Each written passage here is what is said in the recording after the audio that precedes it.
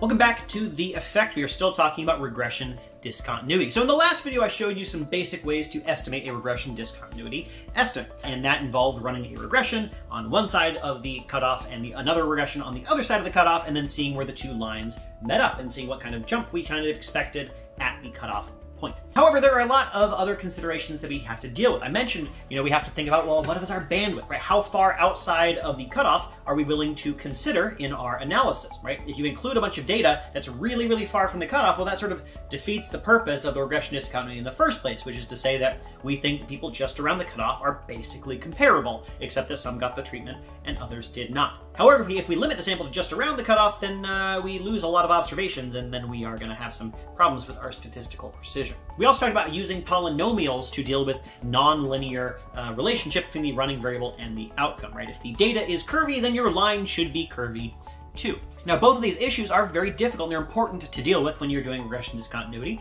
uh, because you need to get your estimate at the cutoff as correct as possible. So there are a couple things that people do uh, in order to, first of all, try to sort of balance the difference between the precision of having more observations far from the cutoff and the bias, the bias reduction that you get from being close to the cutoff, and also to deal with the fact that we want to maybe allow for a little bit of a curvy line uh, and allow for some flexibility in our uh, regression line. So the first thing I want to talk about is the use of weights. Uh, so I mentioned using a regression uh, where we have we fit a line on either side of the data. However, you don't necessarily have to allow each point in your data to count the same in your estimation. You can use weights uh, that will allow some observations to have more influence on your estimation of the regression line and some values to have less influence. And in particular, the way that you might structure this is to have the points that are closest to the cutoff count the most. So you might say something like, okay, if you're right next to the cutoff, then I think that you are really, really unbiased. I can compare you right on the other side of the cutoff, no problem. Uh, and as I move further away, I'm like a little bit less certain about these people, a little bit less certain about these people, a little bit less certain about these people, and I don't think these people are comparable at all. You can use weights to get that exact same idea into your actual analysis. You can say something like, okay, here is my kernel function. A kernel function is a function that is centered around zero and is typically at its tallest at zero, and then descends as you get further away from zero until finally you reach an actual weight of zero. Uh, and if you are right in the center, if you are right at the cutoff, then you get the, the biggest weight. And as you move further away from the cutoff, your, your weight declines until you finally get far enough away that I say you don't count at all. Uh, and now there are a number of different ways that you can implement a weight uh, in your regression discontinuity analysis. Uh, there is, for example, the triangular kernel, uh, which is looks exactly like this. It looks like a triangle. there's the Epanechnikov kernel, which is a bit more curved. Uh, but the basic idea with all of them is that the closer you are to the cutoff, the bigger of a weight you get.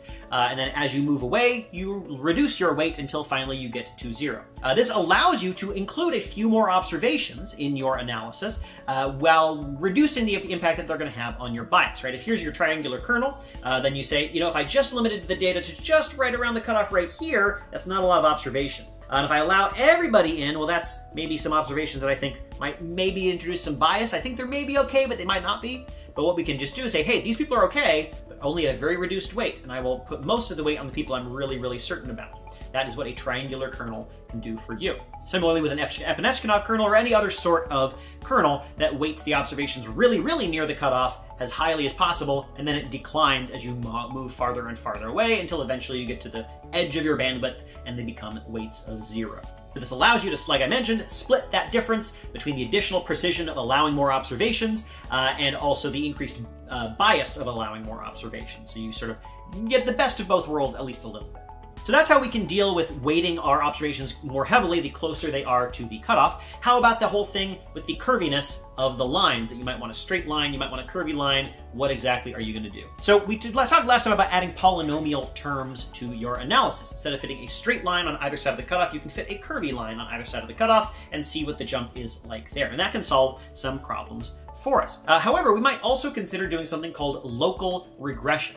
What local regression does is it does not fit a single line over here and a single line over here. Instead, it moves along the running variable, taking a little window of data at a time. Every time it takes a little window of data, it fits a different regression, sometimes a linear regression, sometimes a polynomial regression, but a regression nonetheless. And then it produces a set of predictions just for the data in that narrow little range. And so in doing so, you allow the model to be curvy because you can say, okay, over here, the slope looks very flat. So I'm gonna put a very flat line right there. And then move a little bit over. Okay, now it looks a little bit steeper. So I'm gonna put a little steeper line there. And then it looks a little steeper than that. And you move along and you allow the slope to be changing continu uh, continuously and you get something that looks like this. Uh, now, this does a couple of things for us. So first of all, you'll notice I'm looking at a little window one at a time, which already sort of incorporates our bandwidth idea. Imagine what's happening right next to the cutoff. Well, right next to the cutoff, if this is my cutoff line, and this is the window that I'm looking at for my local linear regression, I'm only using observations in this little window to estimate my regression at that exact particular point.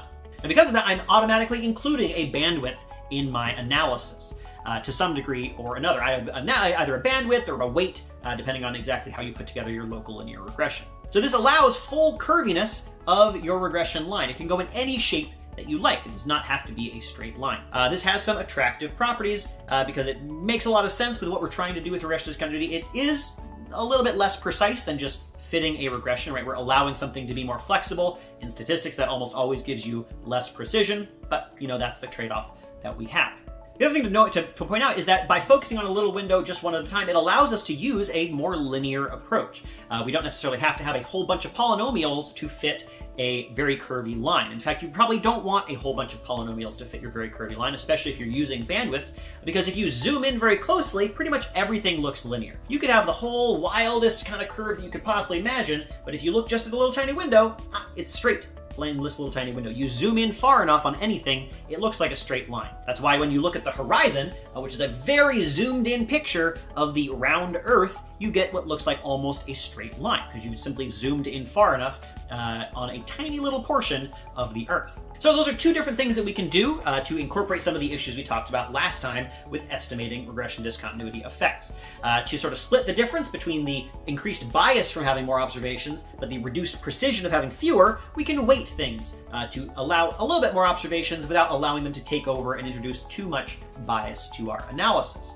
Uh, so it's a, slight, it's a bit more of a nuanced way of allowing for our bandwidth to work. We can also, instead of having a straight line or even a polynomial line, allow for local linear regression, or local polynomial regression, just local regression in some way, uh, where we're allowing the slope to change depending on which range of data you are looking at. Which means that once we get right up to the, uh, to the, to the point, we are largely looking at data just around the cutoff, which is largely what we wanted to do anyway. This approach does reduce our precision, uh, which is a problem because we're already in a low precision zone when we're working with regression discontinuity, um, but it does solve some problems for us in regards to functional form. All right, that is it for this video. Uh, in the next video, we'll be talking about some ways that we can check the plausibility of the assumptions we need to make for regression discontinuity to work. Thank you.